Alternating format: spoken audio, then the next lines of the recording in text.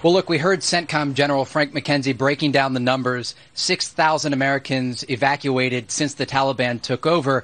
But you still have 250, according to the U.S. State Department, on the ground in Afghanistan.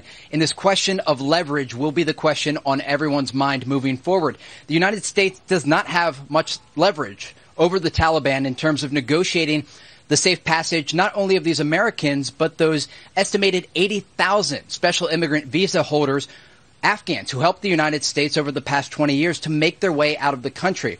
It's such a dire situation on the ground. We're seeing reports out of countries like Iran and Pakistan and Tajikistan of Afghans fleeing on foot. The United Nations estimating over the next few weeks, half a million Afghans could flee the country over land borders because they don't have this critical air bridge anymore.